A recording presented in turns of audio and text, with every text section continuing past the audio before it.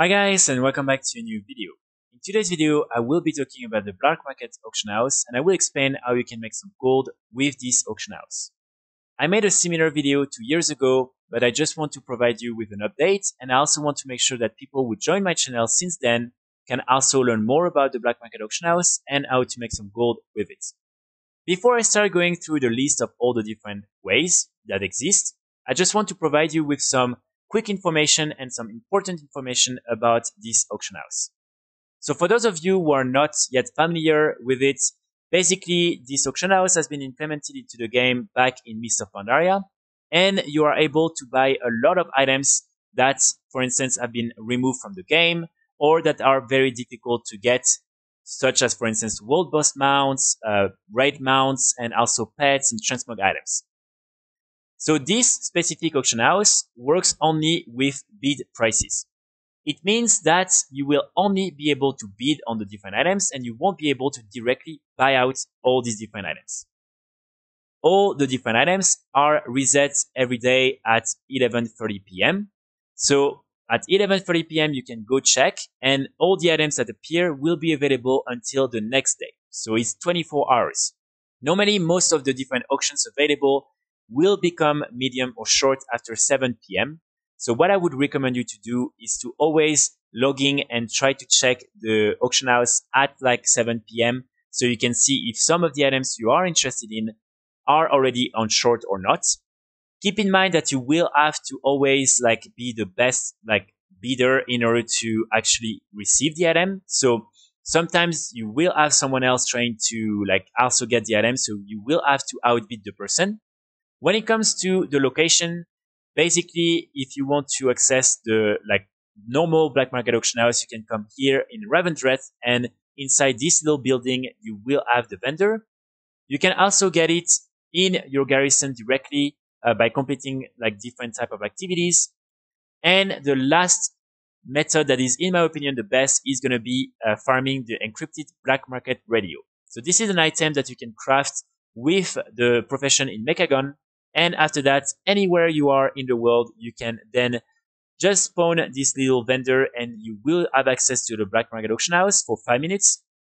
So as I mentioned, there are really a lot of items that you can purchase from this auction house, but only a few can actually then be sold on the auction house and that you can make some gold with. So what I'm going to do now is I'm going to go through the five best items you can purchase from the black market auction house and that you can make some gold with.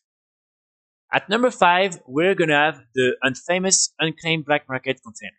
So these containers are basically containers that can contain anything from the black market auction house. Each time you will only receive one item and it's exactly the same for all the different characters. Meaning that, for instance, even if you're playing on a warrior, you will still be able to get some cloth or mail or leather items. So Many, many times you will unfortunately receive items that you cannot even use on your character.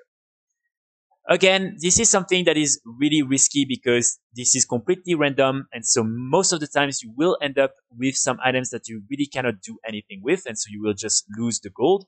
I made a lot of openings, so you can also check that. And you can see that many, many times, unfortunately, I just lost my gold.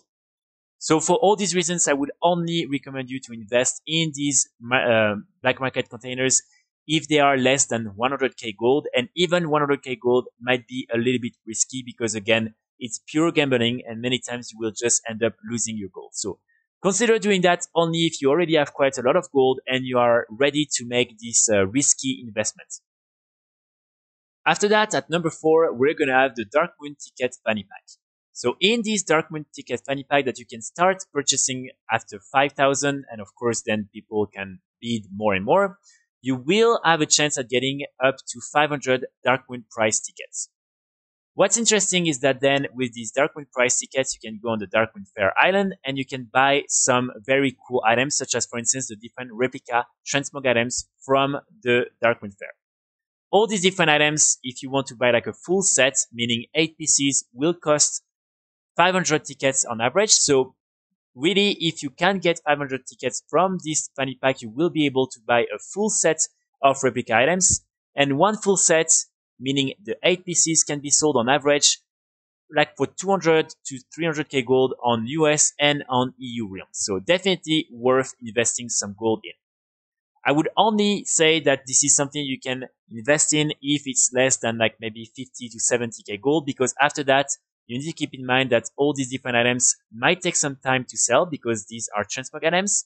And so in many time, in many cases, you will have to wait before making some profits or just reimbursing the money you invested in the Darkmoon uh, ticket fanny pack. So just keep that in mind. But definitely if you see one for less than 50k gold or maybe 70k gold, I would recommend you to invest in.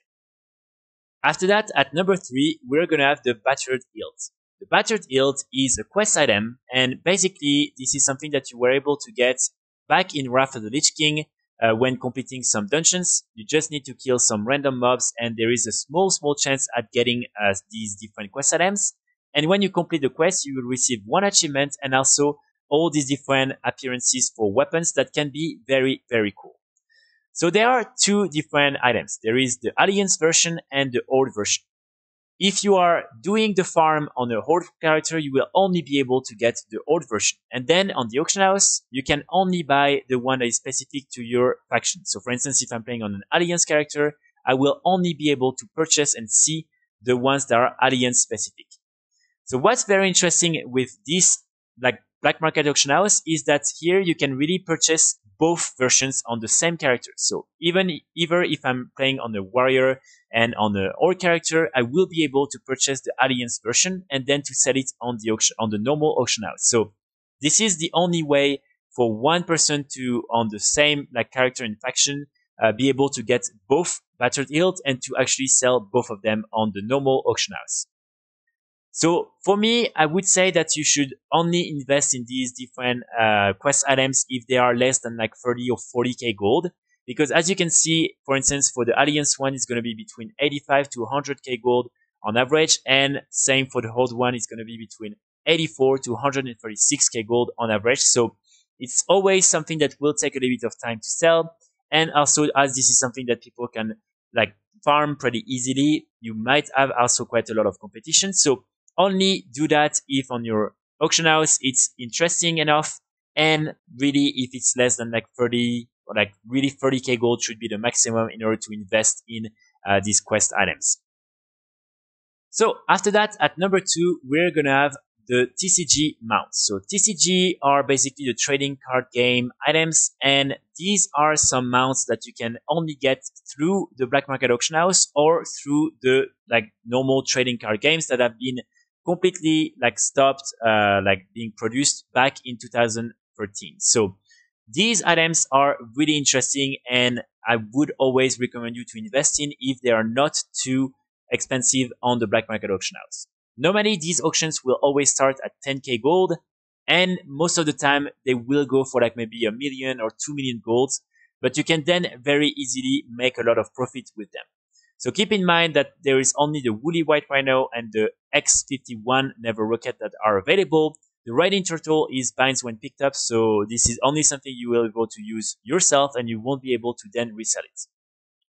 In order to check the current like value of these different mounts, what I would recommend you to do is to go here on this website, WoTCG Loot, and then here when you click on auction, you are able to access this like basically like system where you can see all the different TCG loots that are currently being sold on the normal auction houses on all the different realms.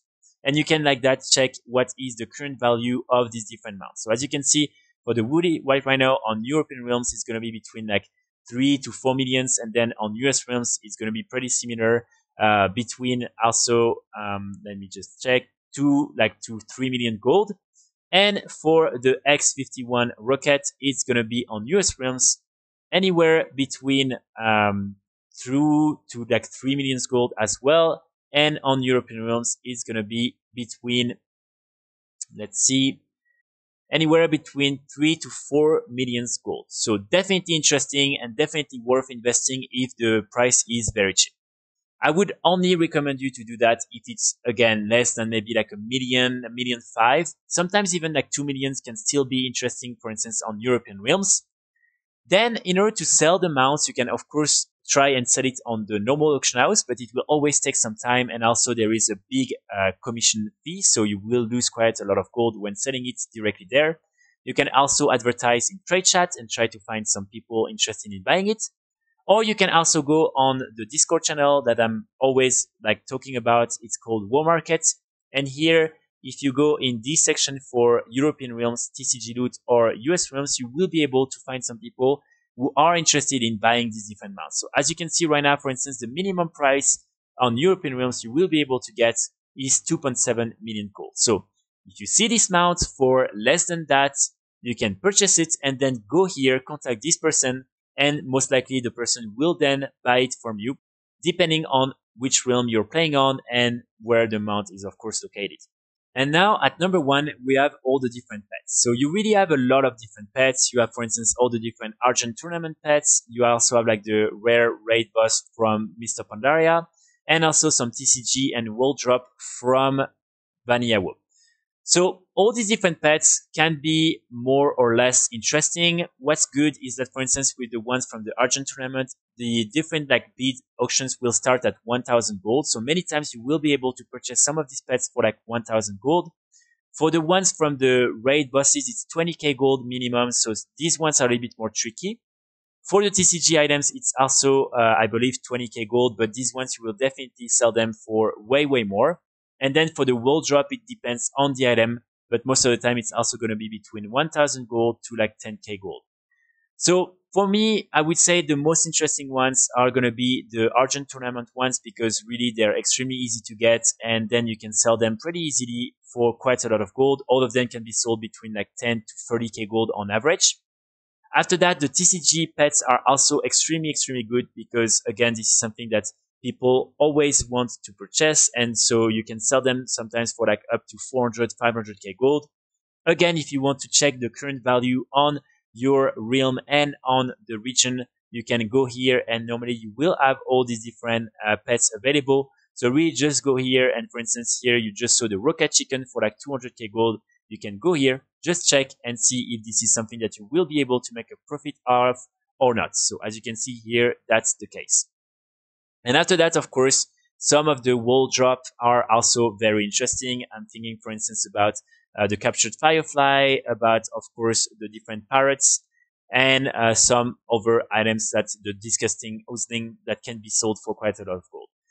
For the different raid bosses, uh, I would say the most interesting ones are going to be definitely the droplets of Y'Shaarj, uh, maybe some of these, like the Dark Wibbling Blob, uh, this one as well, and the Son of Animus, but some of them might be a little bit too risky. So these ones, I would only say check your realm first and really make sure that uh, the prices are interesting enough for you to invest 20k gold in these different pets.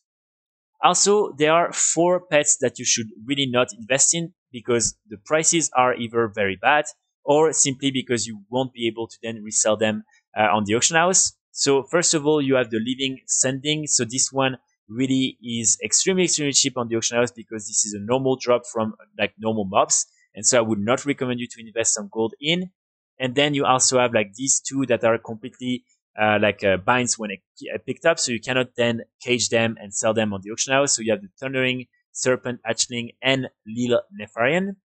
And then the last one is actually going to be uh, the Banana Charm. So this is one of the TCG items, but basically it was made like accessible to like all the different players back in 2021 and so now the value is extremely extremely extremely bad like two three thousand gold on most realms so i would not recommend you to invest too much. Uh, but yeah other than that all the pets i would say are extremely interesting and you should every day check if you can maybe try to find some very cheap ones and then to sell them. And keep in mind that again you can always decide to buy one on one realm then cage it on another realm so you can also really make a lot of gold on different realms, even if you buy the pets on a different realm. So that's going to be pretty much it for today's video. I really hope you enjoyed and I really hope you will be able to make some gold with the Black Market Auction House. I will be back very soon with more guides and with more videos, but in the meantime, I wish you all a great start of the weekend and I will see you all very soon. Bye!